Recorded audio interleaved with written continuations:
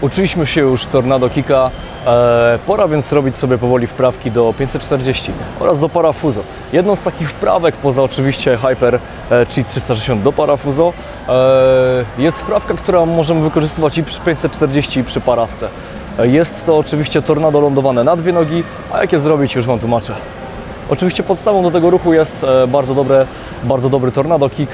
Postarajcie się więc e, trenować go w taki sposób, żeby ładnie sobie nabrać wysokości, ładnie wybijać się do góry i mocno sobie łapać tempo e, strzelania z palców. Jeśli mamy takie tornado, to to co musimy zrobić to wyskoczyć mocno do góry, wyciągnąć na spiętych mięśniach nasze ciało razem z rękoma i nogą.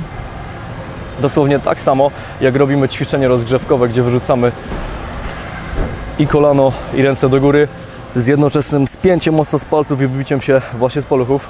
I z takiego wybicia chcemy sobie e, kopnąć crescentowym kopnięciem, gdzie ściągamy nogę od boku przez górę tutaj w dół. I ważne jest to, że podczas tego kopnięcia, jak będziemy sobie to robić w locie, musimy mieć świadomość tego, jak ta noga ma lecieć. My nie chcemy kopnąć tej nogi do góry, rozluźnić ją i potem spuszczać na dół.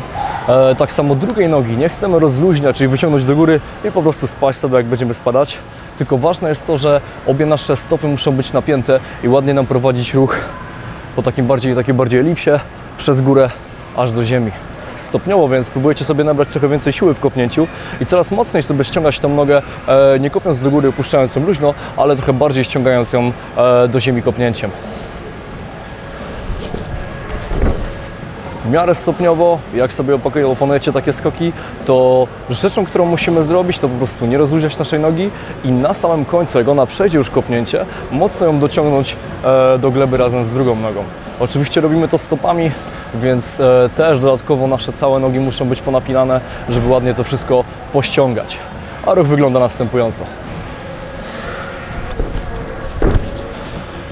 Jeżeli dobrze czujemy moc w tym kopnięciu e, i przez cały ruch mamy spiętą nogę, także nie wybijamy się z miękkiej nogi, tylko już ją mocno przeciągamy jak najszybciej do gleby, złapiemy bardzo fajne tempo e, pod wprawkę właśnie do parafuzo i 5-4.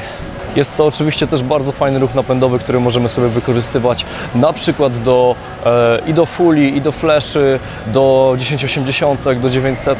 Tak naprawdę dowolnie możecie robić sobie jakikolwiek ruch po tym e, lądowany na dwie nogi, a także trochę bardziej kombinować, na przykład lądując na dwie nogi, wybijając to tempo i robić na przykład jakiegoś mislega albo wanisza. Ale o tym będzie w kolejnym filmie. Dzięki wielkie.